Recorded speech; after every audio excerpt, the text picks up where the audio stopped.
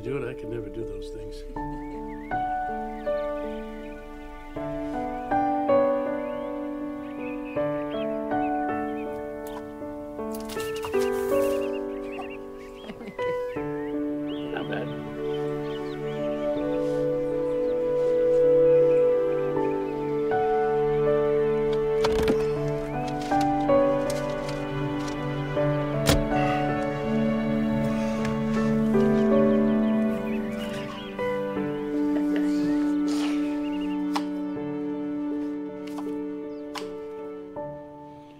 Amy, how are you holding up?